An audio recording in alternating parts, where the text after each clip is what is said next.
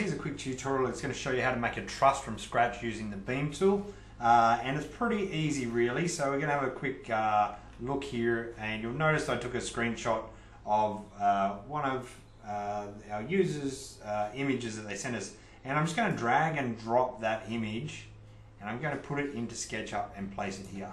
Right Now I have an image in there I can scale it. Now I don't actually have a measurement on this particular file that I think I can get from end to end, but I'm just going to surmise that the distance between here and here is six meters. So what I'm doing is I'm going to go up and I'm going to grab the tape measure tool and I'm going to type in the measurement from here to here as six meters. Okay. All right, so now I've got an image in there. What I'm going to do is I'm going to grab the beam tool and I'm going to basically trace around the edges. Then I'm going to draw my webs in and I'm going to use uh, several different functions in the beam tool that are, that are cool and make things happen really quickly. Okay, so we're going to do, first things first is going to go to the, the beam tool and we're going to choose what it's made out of. It could be steel, it could be LVL. I'm just going to use um, uh, this material, 90 by 45. It's a guess, I don't really know it. Now, how do you choose which way you want to go? Well, you'll notice if I went left, I could push insert and I could do that, but there's no difference whether I go up here or I go across. So I'm just going to basically type in the material.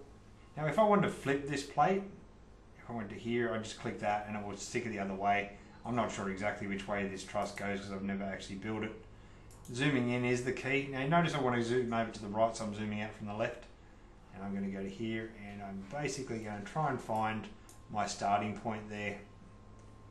Okay, and you can see that I actually have kind of created that truss there, but I actually need to um, go through and miter it. So if I actually select both here and go right click and miter, I can do that. But you know what I'm going to do first? I'm actually just going to go through while I'm here and I'm going to quickly just put in the webs according to what's here. Now, I could do a tutorial on how to actually create a truss according to mathematics, but essentially all I'll do, and I'll give you, how about I'll give you a quick demo after I've done this.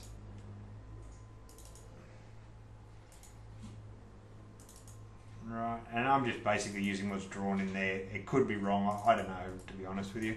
Uh, let's have a look and see if we can get this. And here.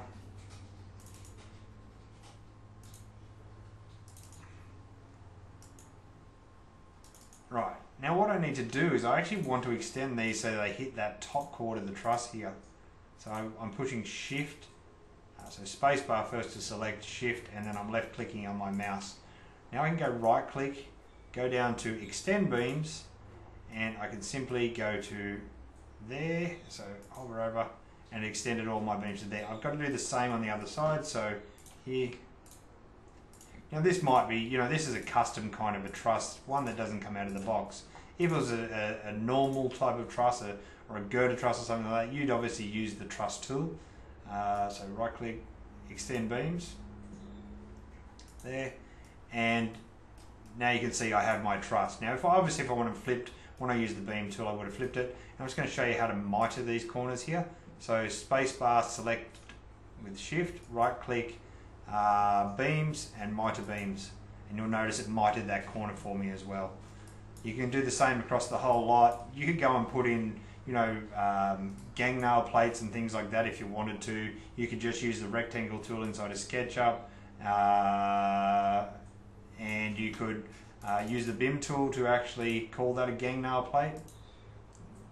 And you can type in the size, I'm going to just type in gang nail. Right, and you can put in a price if you wanted to and everything else, submit. For more information, the BIM tool, go up to here and go submit. And obviously you'd probably go and do that on all of them, but for the point of the exercise, repetition isn't going to help you move forwards. Actually doing it yourself is. So, so now I've selected all. I use my space bar uh, you notice that it's selected there, but I don't actually want that. So if I push shift and then hold my left button down and hover over it, everything I selected inside of uh, that little rectangle that came up there is actually uh, what I need to do. And now if I go right click, I could make it a group, make group. And if I actually wanted to quantify this truss by itself, I could use the BIM component just as I did with the the gang nail there and I could do it and obviously we want to quantify this as well. So it's a good idea to do this, do your takeoff, and then basically um, you can you can then uh, quantify it as you go. Look, it's a good idea to test this kind of stuff, guys. Now I have a vertical truss sitting up there, and if I wanted to have an array of those trusses, I could go in here and go move, control, and you notice I'm on an axis there, green axis. You can lock your axes by pushing the left button or the right button on red.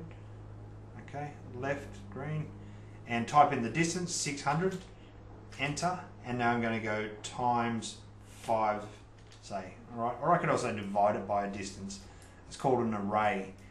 All right, and then basically, if I just want to um, do an estimate on one truss, right click, take off selection, and you'll notice that I have framing here, and inside of here is going to give me the length of all of the lumber that's inside of there now. And if I went back and used the BIM tool, I could just quantify the truss. So I uh, hope it helps you out, guys. If you uh, need any more information, ask below in the uh, comment section. Uh, if not, um, like the video if you like it. If you don't like it, push dislike, but tell us why so we can improve. Alright guys, cheers.